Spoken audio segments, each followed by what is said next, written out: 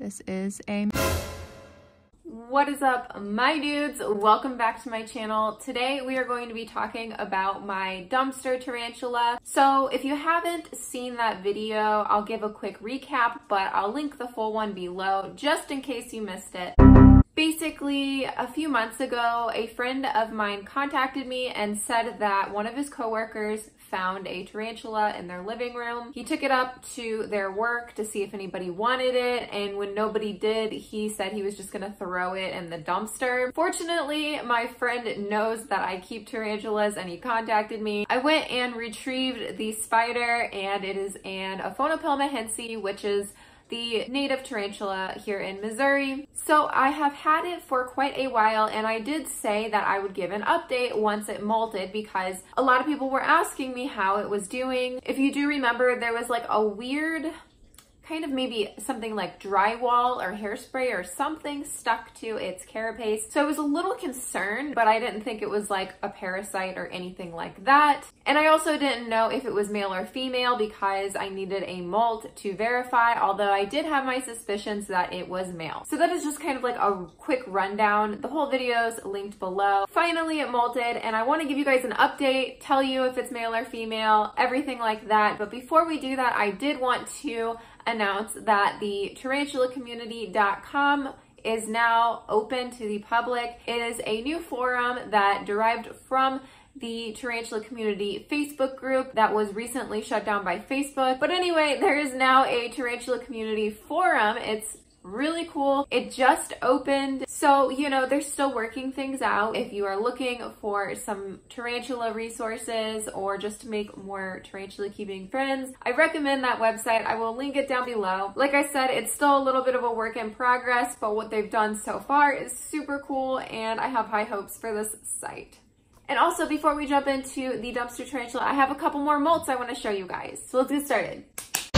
Oh my god! Okay, so the first tarantula that molted that I am super happy about is my Homoeomma species blue. And I'm not quite sure if it's ready to eat yet or not, but I figured we could go ahead and try because I do have a few crickets here. As you guys can see though, it is so pretty. It's really got like some grayish blue legs and its carapace is kind of turning like an orangey color with a few little bright hairs on its abdomen. This one's probably still a little bit too small to find out if it's male or female. I do have a magnifying glass that is pretty handy, but it's not a, a miracle worker. So I don't think that we're going to be able to find out if it's male or female until the next molt. So I'm really not going to even bother pulling this one out. Okay, let's see if it will eat. Like I said, I'm not really sure, but... Oh! so slings actually don't take as long to recover, so it's not too terribly surprising that this one did decide to eat now. Sorry my fish tank is so loud, but just look at those colors. This is one of my all-time favorite tarantulas in my collection, so I am super happy that it's finally growing. All right, we actually have my P. sazimai. She's pretty skittish, so I'm gonna go ahead and take you guys down there. So as you see, she's not really getting that coloration just yet, but she is a little blue. So it's, it's kind of coming through, but not quite. It'll be probably a minute before she really brings on those adult colors, but I'm happy that she finally molted because I feel like she's molting very slow. And when I say she, I'm assuming hopefully it's a female because then you have them a long time. I don't think she's quite ready to eat yet though, so we will just leave it at that for now. This is my Brachypelma schroederi. So you guys know that I recently got this one after Mew, my Ecampostratus, unfortunately passed away from impaction. So this was kind of my cheer up reward, I guess, to myself. It's quite a bolty little sling and I'm not really sure if this one's quite ready to eat because I think it molted like two days ago, but we can go ahead and try. Of course, if it doesn't go for it right away though, I will remove the prey. No, not ready, but that's okay. We'll try again in a few days. I gotta go buy more crickets anyway so I can find a larger one to plump it up once it is ready to eat. But yeah, if you guys don't know, this is probably one of my favorite species. It is also called the Mexican black velvet because as adults, they're actually pure black like a Grammostola pulchra. Unfortunately, like I said, it's not ready to eat quite yet, but that's all right because we'll get a really, really big fat cricket to plumpen this one up and keep it growing nice. Okay, yes, this is my big Grammostola male. So as you guys can see, he just molted. And the reason why I'm so happy about it is because he finally matured into a male. So if you guys didn't know, I do have a female named Pikachu. She is a mature female, and so I was just waiting on him to molt. So that is amazing news. That means we can finally start planning to breed them soon. As you see, his molt is so big. He is a big guy. Look at those teeth, you guys. Oh my gosh, that would just be so painful to get bit by. Fortunately, Grammostola pulchripes are pretty docile though, and usually recommended as the best beginner tarantula. You can actually get a good look in here and see that it is male without even having to manipulate it too much. Nonetheless, this is a really cool molt, so I'm gonna hang on to this for my little molt collection. I don't think he's ready to eat yet, but I just wanted to update you guys because yeah, this is what we were waiting for. Now on to the dumpster tarantula. I did record a little bit of footage from the other day. I'll go ahead and insert that here of me sexing the molt. All right, so you guys have been asking me like crazy how the dumpster tarantula is doing and I just discovered that he or she recently molted so I don't know the gender yet and I'm not sure if we're ready to eat but I thought we could go ahead and try to check the molt Oh, I do want to try to get the molt, so hopefully... Okay, let's go ahead and see what this molt says. Hopefully we didn't destroy it beyond recognition. I will say that I originally suspected male. Okay, but first let's give her some water because she's probably thirsty after that molt.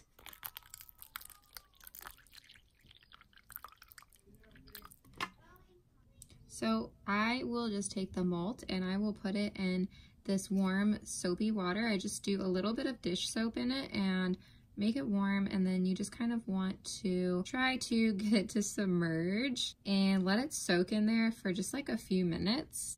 I also recommend a couple toothpicks because this is going to help you poke it apart to get a good look at the abdomen. And once it's been a few minutes, you can pull the molt out and you're gonna wanna try to keep it like as intact as possible. So I just pull it up like this. So everything looks intact, so this shouldn't be too terribly difficult, I hope. Let's try to unfold this.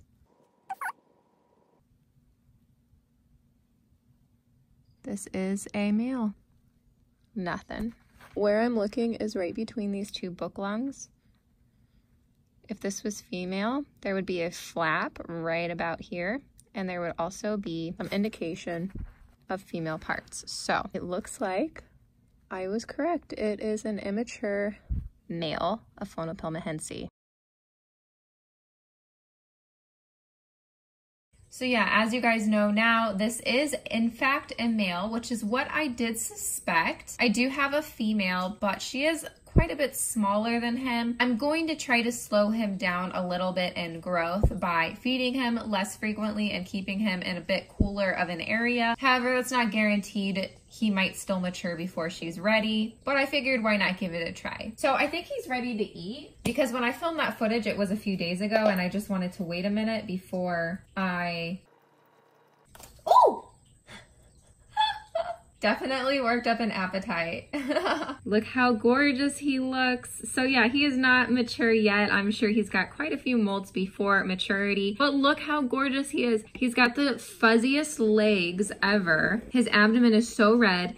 And as you guys see, his carapace no longer has that weird film on it that I kind of suspect is like drywall or maybe hairspray, something it walked through. I'm not really sure. When I did make that video, a lot of people told me that I should name it Oscar. And so at the time, I didn't know if it was female or male. And I don't really name all my tarantulas, but I do name a few, especially if I think of a really good name for one. So you guys all said to name him Oscar. I saw it suggested so many times. So I figured we'll go ahead and name him Oscar since I do know now that he is in fact male. I know a lot of times when somebody will have a tarantula that molts male, they'll be disappointed. I already have a female, so I don't feel really disappointed. In fact, I hope that we can breed them in the future. But yeah, that is my little update with Oscar. And yeah, I'll feature him in a few feeding videos coming up. So yeah, you can see him then.